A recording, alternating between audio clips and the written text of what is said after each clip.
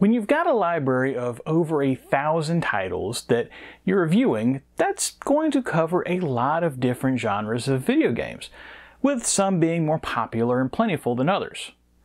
Over the last five years, I have reviewed tons of different racing games, sports games, arcade action titles, puzzle games, and I've even found time to review a few role playing games, other than a certain notable exception that keeps eluding me Look, it's getting reviewed this year, I swear. I just happen to get stuck on the Biosystems lab, leave me alone. Anyway, one of the genres that oftentimes gets overlooked on these consoles, sometimes for good reason, is the combat simulation. There's actually a few different combat simulation titles on the Genesis, and so far I've looked at two different ones from Electronic Arts in F-22 Interceptor and LHX Attack Chopper back in episodes 86 and 187 in case you're curious, about how those went. But to sum up, I actually enjoyed both of them a lot more than I was expecting. However, I wasn't expecting to like either of them at all, so it wasn't exactly a high bar to get over. Today, though, I thought I'd step outside that Electronic Arts comfort zone and review a combat sim from a company that I certainly wasn't expecting it from in Domark with MiG-29 Fighter Pilot. But I'm getting ahead of myself. Uh, for those of you out there that don't know me and just randomly dropped here by the algorithm due to searching for antiquated Soviet airframes, hey, I'm not judging, everyone needs a hobby. My name is Dave, and welcome to Zilog and Moto, the channel where I'm out to collect and review not just video games that inexplicably make those red commie bastards the star of the show, but also the nearly 1,280 other titles released in the English language for the Sega Master System, Genesis slash Mega Drive, Sega or Mega CD as the case may be, and finally the 32X. Basically, if I can plug it into a Genesis either by itself or with some sort of add-on, and be able to read what's on the screen, I'm trying to get a copy of it and review it for posterity with both looks at the original packaging and gameplay captured from original hardware whenever possible. Now, obviously that commie line was a joke, but what has always gotten my attention about this game is the fact that it's named for what we would consider in the free world an enemy aircraft. And yes, I know that by August of 1993, when the game was released in North America, that the Soviet Union had been dissolved for about two years. But as a child of the 80s and plenty of MacGyver reruns, that specter is just always going to be there. And I suppose that in other genres of video games, it's not that uncommon to have a game where you're either playing as a bad guy directly, or that you can make choices that take you down a dark path. Something like a Mass Effect, Knights of the Old Republic, or Fable. But playing as a real life enemy aircraft? I don't know, that just, it feels strange. Hell, the entire plot of the original Top Gun revolved around F-14 Tomcats fighting against the fictional brother to the MiG-29, the MiG-28. And before you ask, no, I have no idea why they chose a fictional plane for that, unless it was just some sort of licensing issue with Mikoyan and Gurevich Design Bureau, aka the MiG and MiG-29. Taking any kind of preconceived notions out of things, what are we left with? Well, MiG-29 Fighter Pilot is technically a follow-up to MiG-29 Fulcrum and Super Fulcrum, which were originally released for home computers in 1991.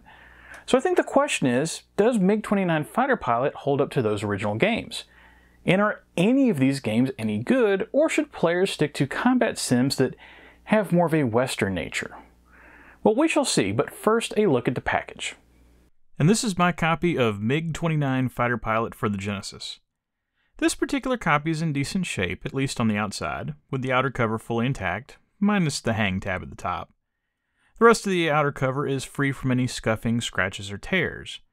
The inner cover is perfectly intact as well, with no edge wear, sun bleaching, or water damage. The manual is a little bent, as we'll see in a minute, but it's good enough for me to want to hold on to this particular copy. However, if I did want to seek out another one, perhaps with an intact hang tab, they're currently going for about $15 on price charting. This is one of those that, while it's not exactly a common title, it's clearly not in high demand either, so that may not be a good sign. As far as the front cover goes, well, I don't think that art is doing the title any favors. It's not bad specifically, and I do like the nice touch of the pilot's visor essentially being see through in an attempt to show it being reflective. But other than that, it's just pretty plain, with some random coloring that I guess is supposed to look like the evening sky, and a picture of the namesake jet off to the side, but not really showing the jet as much as it's showing off the missiles that are strapped to the bottom. The logo isn't exactly enticing either, and it's off center due to Domark needing to advertise that it's not just an 8 meg title, but a super 8 meg title up in the corner, which honestly would be a lot more impressive if it was 1990 instead of 1993, as 8 meg titles had been around since Strider first hit the market in November of that year. The Japanese and European covers of the game are relatively similar, but I think the Japanese version takes it, as there's no extraneous advertising of the size of the cartridge, and the logo is properly centered. Also, if you're wondering why the Japanese version references Tengen instead of Domark, well, that's because Domark and Tengen had a licensing publishing agreement, and for this game, Domark took care of everything in Europe and retained publishing in the United States, but then had Tengen actually distribute the game for them in the United States, and then via that agreement, allowed Tengen to take care of everything in Japan. This is something that I'm sure absolutely no one cares about in 2024, but I still find it interesting and part of the game's history. Flipping over the back, and yeah, this looks like a Tengen release with that stark white background, However, they have mixed it up a little bit and have the four screenshots going in a column straight down the middle. And they're all of decent quality with some variety between the pictures. The flavor text throughout is actually pretty solid and does a good job of hyping up the game. And I do like the header The Cold War's over, now the hottest Soviet jet fighter is yours to command. I could totally see that being used in a magazine advertisement for the game around that time. Opening up the box, and as mentioned, the manual's cover is a little bit bent up, but the rest of the manual is fully intact.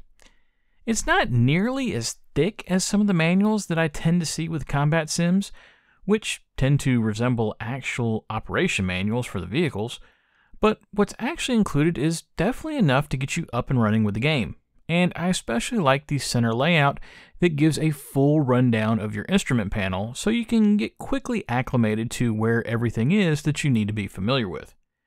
There's also explanations of each of the five missions in the game so you have some semblance of an idea as to why you're actually blowing things up, and a full control breakdown for both the 3 and 6 button controllers, which definitely makes things easier to get up and running. Okay, that's the package. Let's fly off into that wild blue yonder and terrorize some unsuspecting fictional Middle Eastern country that's in no way related to Iraq's invasion of Kuwait. You ever go to play a game and you just know immediately that there's going to be a problem?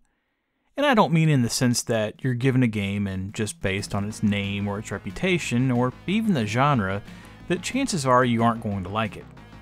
Let's say, for instance, someone picks a game out at random for you to play, what's the earliest that you might know that there's going to be a problem, aside from the game refusing to boot up for some sort of technical problem? Well, if you were paying attention to the thumbnail for this review, you might already know what I'm going to bring up, but for those of you that didn't notice it, the title screen is wrong. Or maybe it's right and the game's name is incorrect, but clearly the developers of the game and the people at Domark and Tengen were not on the same page. Maybe you at least caught the part towards the end of the intro where I said MiG-29 Fighter Pilot is technically a follow-up to MiG-29 Fulcrum and Super Fulcrum. Although if the title screen is to be believed, MiG-29 Fighter Pilot is MiG-29 Fulcrum, or at least it thinks it is. Now, I don't know about you, but when a game can't even get its name correct, I tend to worry about what else might be wrong beneath the surface. And just to be clear, while the game I'm calling MiG 29 Fighter Pilot is definitely similar to MiG 29 Fulcrum, in that they're both centered around the same jet and use a similar display, the actual missions and content to the games are different. So it does make more sense to have a different name. Regardless of all that, I'm not sure how you screw up a title screen, but it's simply first on the list of problems. Once you get into the game, you have three choices. You can either undertake the training mission, go after the first mission in the game, Operation Red Witch, or enter a password that opens up access to the remaining four missions in the game. Yes, you heard me correctly, the game only has five real missions to complete, each with a various color as part of their name. Now, that might not necessarily bring up a red flag for you, but I'll point you back to the cover of the game, where it was advertising Super 8 Meg.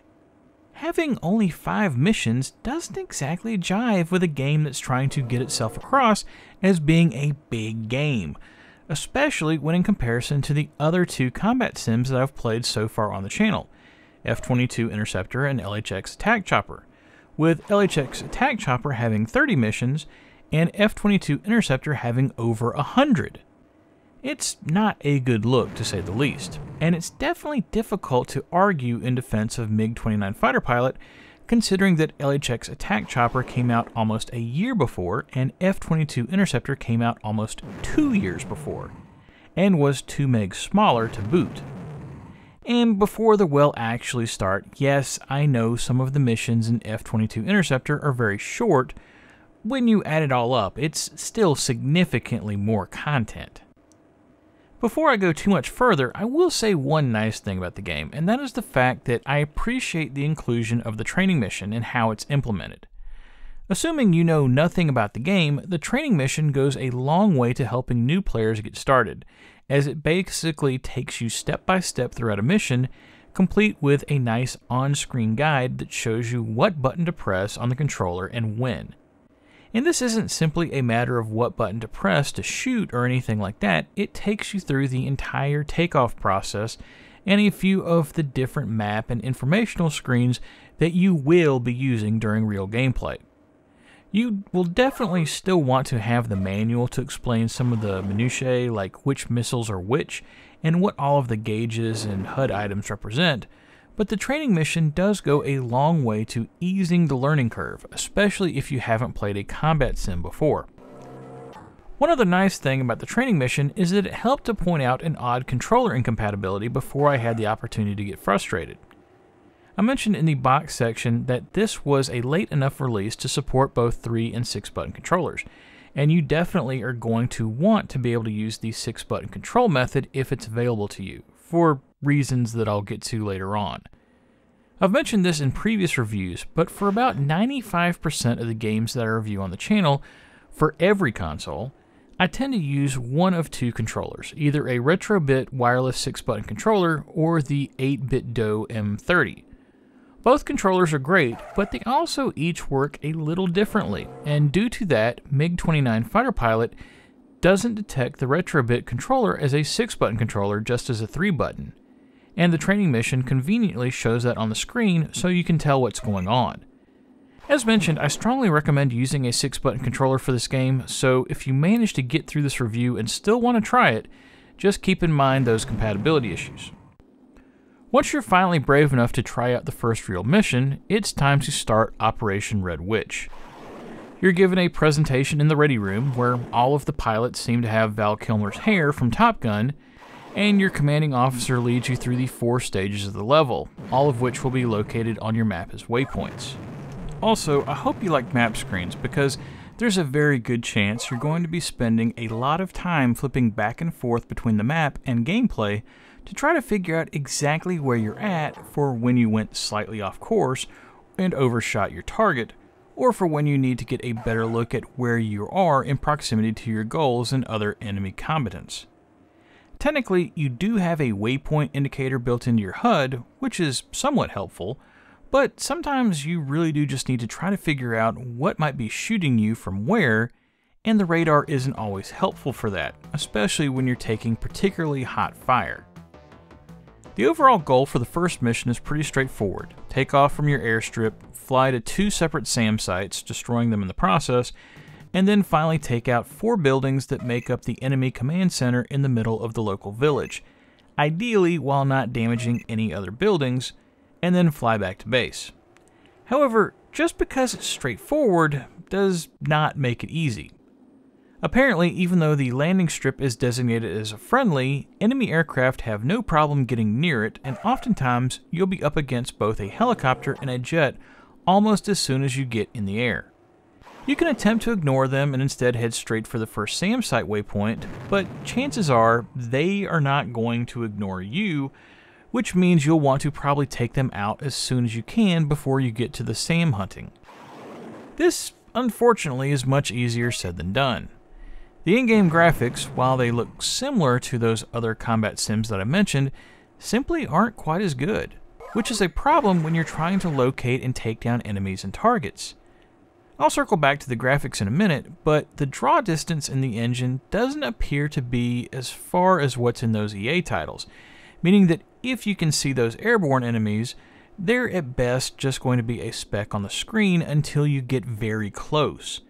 And with the frame rate in the games hovering around just a few frames a second, hunting for those tiny targets isn't the most enjoyable task in the world, especially when they will shoot at you given the chance.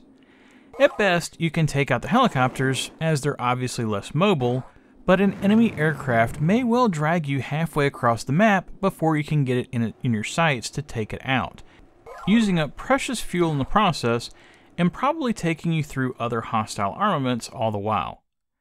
This is also a problem for trying to track down SAM sites that are actively trying to shoot you down. The target tracking built into your jet's computer tries to be helpful and auto-target the item closest to you, but frequently SAM sites will have plenty of other buildings around them, and it can be difficult to determine what you should actually be shooting at versus just some innocent building.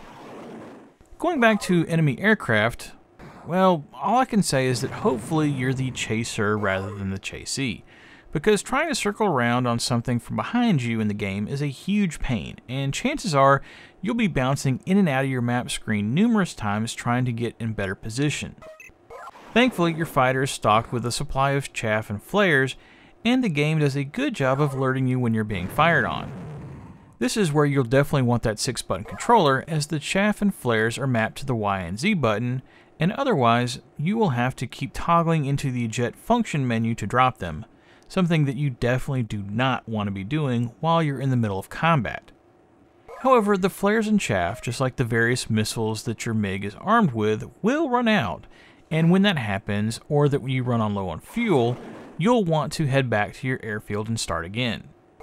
The game mentions this as a normal part of the game in the manual, in that it expects you to occasionally have to refuel, and I don't think that's necessarily a bad thing, this is a combat sim after all, but with just how hostile the territory appears, you're probably going to be doing this a few times during a mission. The ability to go back to your base airstrip at any point brings up an interesting quirk of the game. To progress to the next mission in the game, you don't actually have to complete the mission that you're on. Score enough points by blowing up targets, and the next time you land, or eject, and you'll pass, and get sent back to the mission selection screen, with the next one now available. I don't necessarily mind this with as difficult as the game is, but it's pretty odd. Usually, military success is by, I don't know, successfully completing missions, not just blowing up enough targets.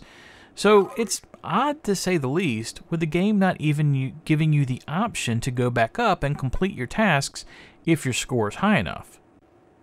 This brings up another issue that I have with the game when it's compared to its peers, and that it has a complete lack of any kind of options. It would have been nice if the game had some a difficulty settings that would allow players to ease into the game. Perhaps maybe not be quite shot at so aggressively, or have the fuel tanks last a bit longer so that players won't have to refuel quite so much. The game does feature an auto land sending so that players don't have to go through the process of lining up an approach each time and that is nice, making manual landing a point bonus instead, but the overall difficulty of even the first mission is a bit much and serves to drive players away.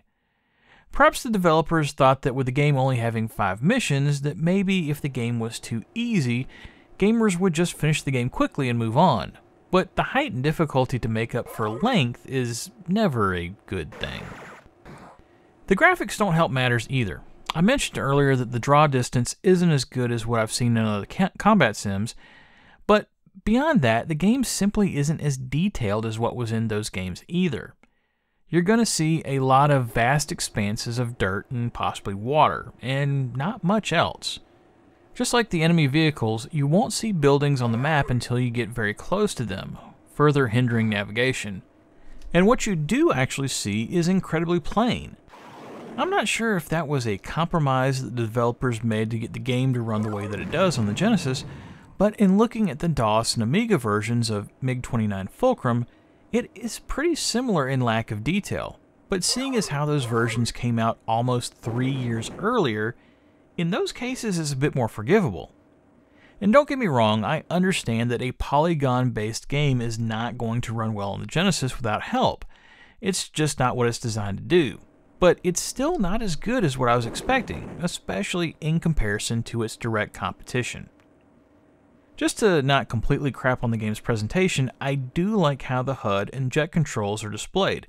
There's a ton of detail there, like the 8 warning lights to the right side, the thruster levels, fuel levels, and ammo levels all available at a glance, which is nice, and the cockpit appears the most complete out of any combat sim that I've played so far, for players that are into that sort of thing. The targeting display section that shows what's in your sights isn't quite as detailed as what's in other games, but at least it's there, and it is helpful to know exactly what you are locked onto. From a sound perspective, the game actually holds up pretty well. There's not a ton of background music to speak of, but what is here is pretty nice, and makes the title screen and the mission intros about as exciting as a basic status screen can get.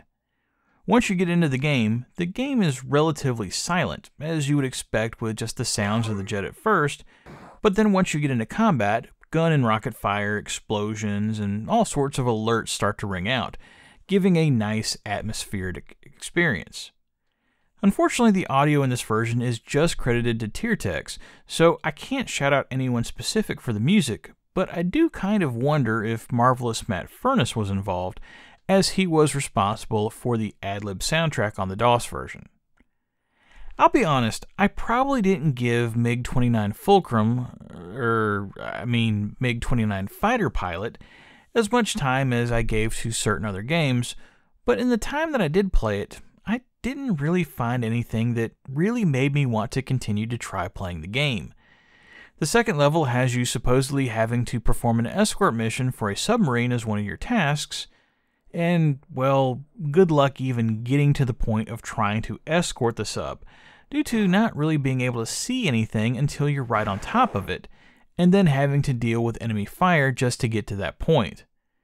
As a result, I'm giving MiG 29 Fighter Pilot 1 star, the game simply doesn't bring anything to the table noteworthy that wasn't done better in previous combat sim titles, and I would recommend this to only the biggest fans of the genre. And even then, be forewarned, you are probably in for some turbulence. Okay, and that's it for MiG-29 Fighter Pilot on the Genesis. I was honestly disappointed in this game. Not that I was expecting that much, I knew that any kind of polygonal 3D title was going to be a tough sell on this console, especially these days now that we've been spoiled by the amazing graphics of our current gen consoles and computers. But even with those same limitations, I have been impressed by other titles on the console, so I want to at least give it a chance. Hopefully the next time I come back to this genre, I'll be pleasantly surprised again, and I'm just chalking this one up to well, I mean, they can't all be good. Next time on Zilog and Moto, it's just about that time. In a little over two weeks, Super Bowl 58 will take place in Las Vegas, with four teams left currently vying for the title, and coincidentally, I've got a pro football game lined up in the schedule to go along with the action. And I'm already hearing you out there, another football game. You just reviewed Mike Ditka Power Football a few months ago. Well, I'm sorry, I didn't create the Genesis library. It just happens to have a lot of football games. But at least this one I'm pretty sure is probably a good one, as it's the sequel to a game that is currently the seventh best game that I've reviewed so far on the channel. Will this one surpass that? Or is it just an annual rehash that we've gotten used to with sports titles over the last 30 years or so? We shall see. But that's it for Zilog and Moto episode 226. If you liked what you saw here and want to see more, please think about liking and subscribing if you are so inclined, as it will help more people see these videos. But most importantly, whatever you like to play, have fun and be excellent to each other. Later!